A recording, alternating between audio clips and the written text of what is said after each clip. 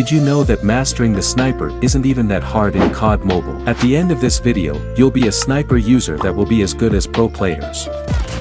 Let us start with the first tip, which is use jumping and peeking enemies instead of walking.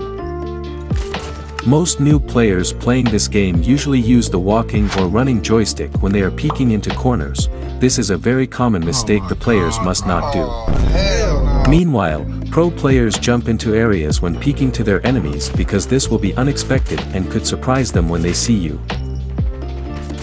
What I usually do to do this trick is I move my joystick to either left or right, for this example I'm moving my joystick to the left, then I just jump as soon as out in the open. Well that is the simple way to do it. What other players do is they run and jump, then they move their screen 90 degrees to either left or right and then they quick scope. Well if you think that's hard, what pro players do is they run, then they slide, then they jump and then look 90 degrees to left or right in scope. Well, since most of you are probably noobs, just start with the simple one then work your way up to the pro.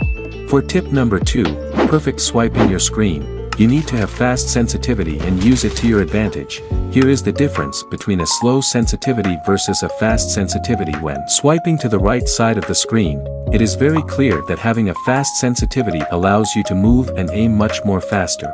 Here is an example that pro players do on a 1 versus 1 situation, when using a sniper and an enemy is near you, know how to move your focus away from the enemy, then slide and refocus your aim. To your enemy, this is a very important thing to do because most players have a hard time aiming when an enemy is very close.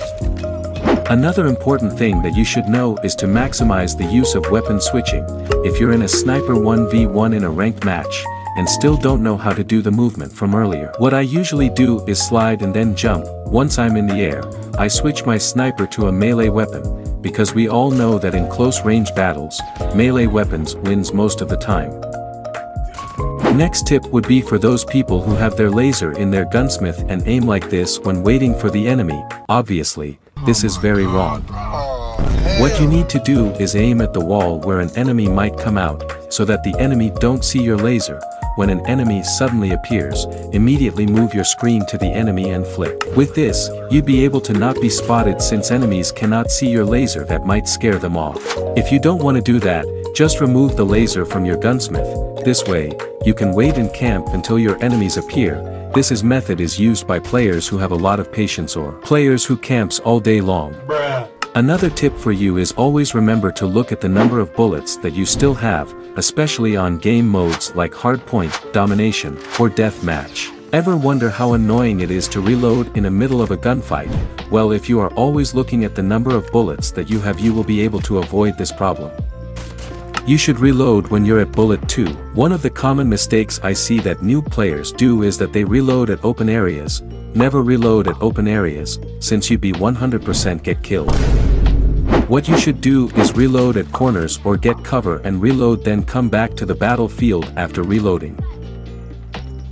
Also never use prone when using a sniper, this is the last tip, here is an example, players use prone when they want to get cover or when an enemy started rushing, but since this video is about helping you to be the best pro sniper user and dominate every game, we don't need to use prone since we are the one who are going to rush. Some may say this is a crazy tip since most sniper users don't rush and stays at the base, but pro players rushes using a sniper and always do that, to get better and better until you reach their level. So yeah that's it, like the video thanks.